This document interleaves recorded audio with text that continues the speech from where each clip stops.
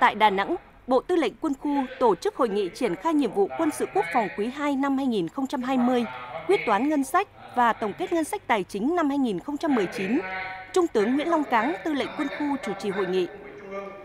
Tại hội nghị, các đại biểu đã được nghe Trung tướng Trịnh Đình Thạch, Bí thư Đảng ủy, Chính ủy Quân khu quán triệt nghị quyết về lãnh đạo phòng chống dịch COVID-19 trong lực lượng vũ trang quân khu. Đại tá Lê Ngọc Hải, Phó Tư lệnh kiêm Tham mưu trưởng quân khu, báo cáo kết quả thực hiện nhiệm vụ quân sự quốc phòng quý 1 năm 2020,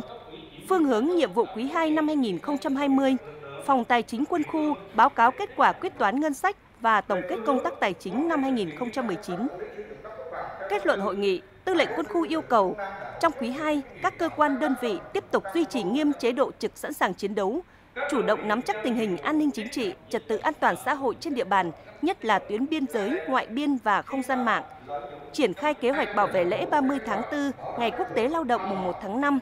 Chỉ đạo các cơ quan đơn vị hoàn chỉnh quyết tâm A, kế hoạch A3, quản lý chặt chẽ đất quốc phòng, kiên quyết chấn chỉnh về tổ chức biên chế, tiếp tục chuẩn bị, bổ sung hoàn chỉnh các văn kiện và tổ chức thành công Đại hội Đảng bộ các cấp,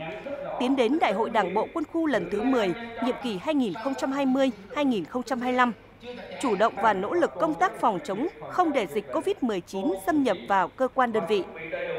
Tư lệnh quân khu yêu cầu ngành tài chính tiếp tục quán triệt và thực hiện nghiêm luật ngân sách nhà nước, điều lệ công tác tài chính quân đội và các chỉ thị hướng dẫn chỉ đạo của Bộ Quốc phòng về quản lý thanh toán vốn đầu tư phù hợp với tình hình thực tế, bảo đảm giải ngân được thuận lợi, nhanh chóng và tuân thủ đúng các quy định của nhà nước và Bộ Quốc phòng, không ảnh hưởng đến chất lượng dự án công trình.